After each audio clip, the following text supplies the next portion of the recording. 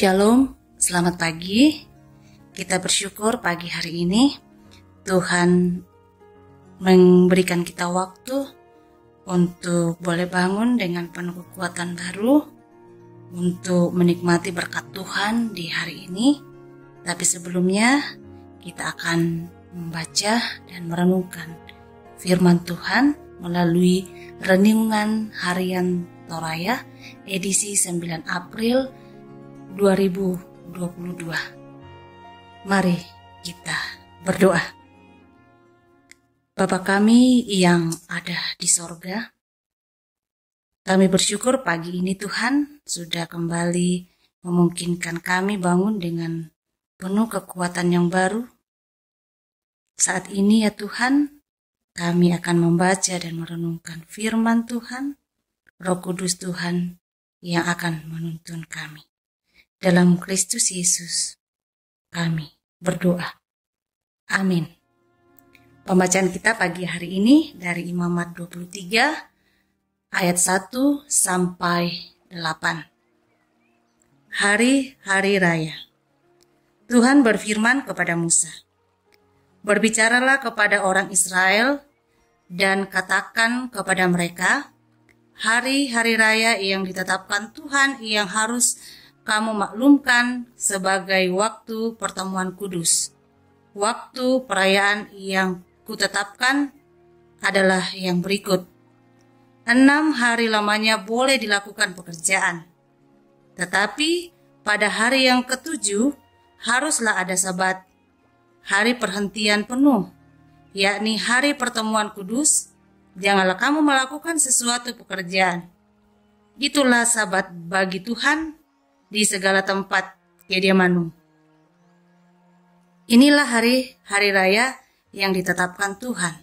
Hari-hari pertemuan kudus yang harus kamu maklumkan masing-masing pada waktunya yang tetap. Dalam bulan yang pertama, pada tanggal 14 bulan itu, pada waktu senja, ada pasca bagi Tuhan.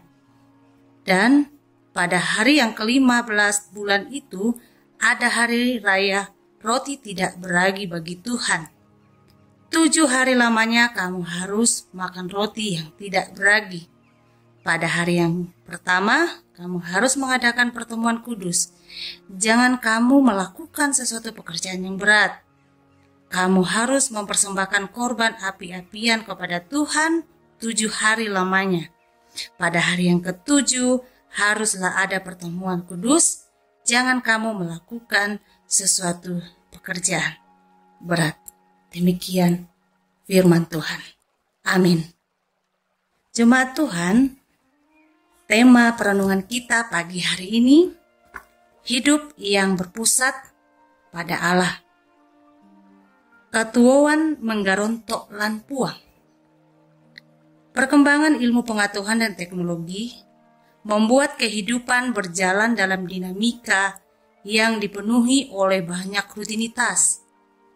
Sampai-sampai sering kali waktu terlalu begitu berlalu begitu saja.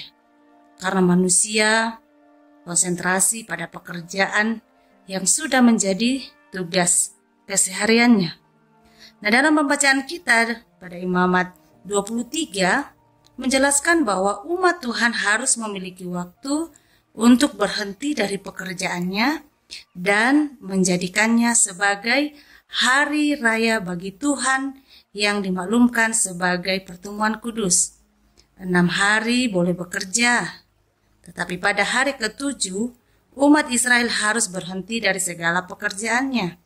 Hal itu dimaksudkan Allah supaya umatnya senantiasa mengingat Allah sebagai Tuhan atas waktu, karena dialah pemilik waktu. Karena itu umatnya boleh memakai waktu yang Tuhan berikan, yakni enam hari kerja. Tetapi harus diingat bahwa Tuhanlah yang menjadi pusat kehidupan kita. Kita tidak boleh hanya sibuk dengan pekerjaan, mengisi waktu dengan rutinitas pribadi dan keluarga.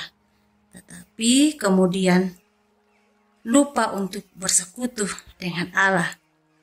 Nah dari pemahaman ini kita belajar bahwa Tuhan memang sudah memberikan anugerahnya dengan waktu yang cukup bagi kita dalam bekerja dan beraktivitas.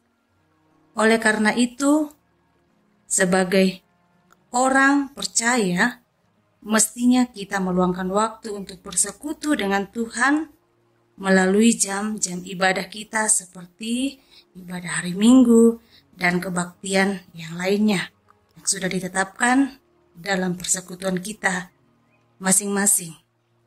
Nah, jemaat Tuhan, peliharalah waktu untuk bersekutu dengan Allah sebab dialah pemilik waktu dan kehidupan kita. Pergunakanlah waktu yang ada untuk memuliakan dia dengan cara menggunakan waktu dengan sebaik-baiknya untuk kemuliaan Tuhan. Roh Kudus menolong kita. Amin. Mari kita berdoa. Segala kemuliaan hanya bagimu Bapa di sorga. Terima kasih untuk kesempatan yang Tuhan sudah boleh berikan bagi kami untuk membaca, merenungkan firman Tuhan di pagi hari ini. Firman Tuhan yang mengajarkan kami untuk memelihara waktu untuk bersekutu dengan Tuhan, Sang Pemilik kehidupan kami. Bapa yang baik, sebelum kami melakukan aktivitas kami hari ini, Kiranya Tuhan memberikan kami kemampuan, kesehatan, agar kami boleh melaluinya dengan baik dan kehidupan kami boleh berkenan kepada Tuhan. Berkati setiap kehidupan kami Tuhan. Berkati setiap usaha dan pekerjaan kami masing-masing. Sehingga kami tetap bersuka cita melakukannya. Berkati kehidupan kami hari ini Tuhan. Dalam Yesus Kristus, kami sudah berdoa kepada Bapa di sorga.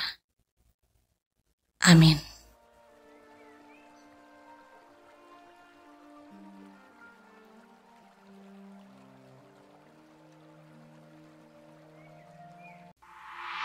Música